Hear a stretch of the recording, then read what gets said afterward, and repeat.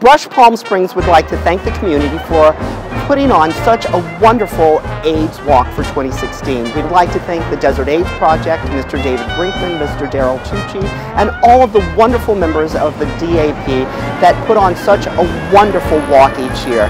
The DAP is doing wonderful work with the uh, HIV community, and we would like to do our part.